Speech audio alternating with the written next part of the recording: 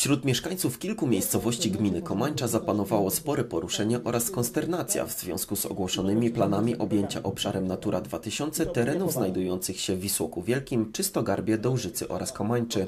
Sprawa dotyczy również kilku sąsiednich gmin. Mieszkańcy boją się, że jeśli nowe przepisy wejdą w życie, nie będą oni mieli możliwości korzystania ze swoich nieruchomości w zamierzony sposób. Dla jednych oznaczać to może rezygnację z planów budowy domu, dla innych brak możliwości wypasu zwierząt. Jeszcze inni będą musieli przenieść lub zlikwidować uprawy warzyw i owoców.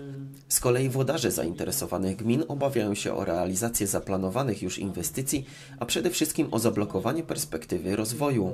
W środę w Komańczy odbyło się spotkanie urzędników z mieszkańcami. Mieszkańcy mają zastrzeżenia co do konsultacji, jakie y, teoretycznie są prowadzone przez Regionalną Dyrekcję Ochrony Środowiska w Rzeszowie. Y, No bo y, na nasze zaproszenie nikt się nie pojawił, ale to też jest tak, że my dopiero dzisiaj po tym spotkaniu, na prośbę radnych i mieszkańców, zrozumieliśmy, że y, te argumenty, jakie myśmy uwagi dali do tego, do tych pla, do tego planu y, zadań ochronnych dla Natura 2000 Beskid Niski nie są wystarczające. Myśmy tylko uwzględnili grunty, które przylegały do obecnych zabudowań, gdzie potencjalnie ktoś może się chcieć zbu- zbudować, grunty przylegające do, bezpośrednio do drogi wojewódzkiej i grunty, gdzie są wyznaczone już y, czy to pozwolenie na budowę, czy warunki zabudowy. Y, Okazuje się, że te opracowanie powstało za biurka. Dzisiaj to zrozumieliśmy ze względu na wystąpienie naszych mieszkańców, którzy w ramach tego opracowania będą zmuszeni prowadzić y, działalność leśną tam, gdzie nie ma lasów, a tam, gdzie obecnie uprawia, uprawiają rolę, no będą musieli y, wykaszać łąki. No, jest to niezrozumiałe dla nas. co jest takie y, dla, dla mnie, dla mojej gminy y, bardzo niepokojące. To jest e, zapis, który mówi o wprowadzeniu dodatkowych obostrzeń i zakazów na terenach już przeznaczonych pod zabudowę.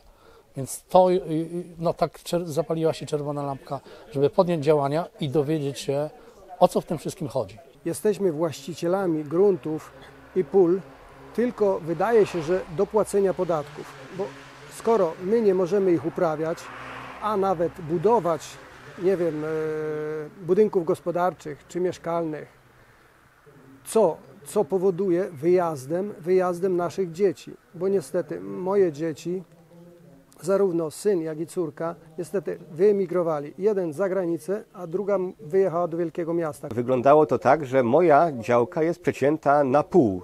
Y, I tak jak, no bo ona jest taka podłużna i z, z tych planów e, wynika, że tak jak sobie do tej pory sadziłem ziemniaki, no to będę mógł tylko na połowie swojej działki sadzić. Mamy obawy, bo złożyliśmy już y, zarówno do Biura Urządzania Lasu i Gospodarki Leśnej y, te poprawki. Nie zostały one uwzględnione przez RDOŚ.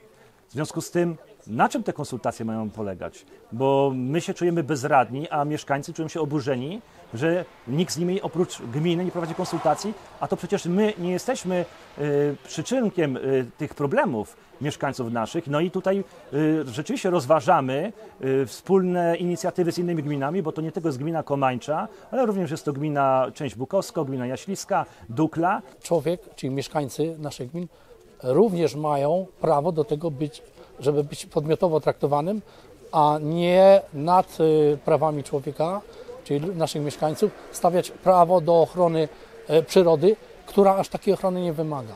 Więc stąd też e, to połączenie sił.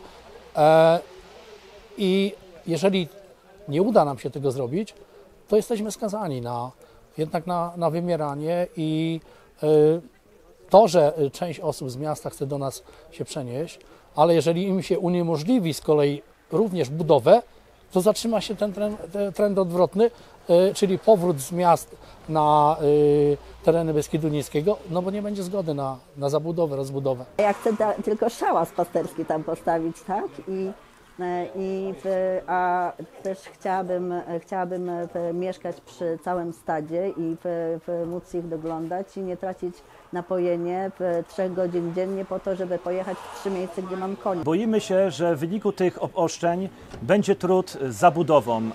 Y, Jest część mieszkańców, która by się chciała budować, ale ma problemy. Zabudowa przez raport na środowisko jest dużo droższa, wydłużona w czasie, ale również też problem jest dla nas, dla nas samych, dla gminy, bo my chcemy i mamy obowiązek też kanalizować nasze miejscowości i, i budować infrastrukturę liniową. No i mamy problemy, no bo jeżeli będzie trzeba wykonywać raport na środowisko, wydłuży to proces inwestycyjny, a pozyskane przez nas dofinansowania mogą być niewystarczające. Y, Po roku czasu przez inflację będzie to mniej pieniędzy i tak w przypadku chcieliśmy rozbudować oczyszczalnię ścieków, no y, ten czas spowodował, że zamiast 12 milionów ostatecznie kosztowała nas y, inwestycja, by 27 milionów nie było nas na to stać, musieliśmy z tego zrezygnować. Nie podobał nam się sposób wprowadzenia tych zmian. Generalnie odbywa się to za naszymi plecami, bo dowiadu- dowiadujemy się z gminy o ważnym dla nas e, e, aspekcie jakby naszej pracy, która ma się zmienić w świetle tych nowych przepisów. Po cichu i w małych grupkach generalnie, tak żeby no, wprowadzić jakby tylnymi drzwiami e, przepisy, które no, uniemożliwią nam prowadzenie jakiejś racjonalnej gospodarki rolnej e, w naszych gospodarstwach.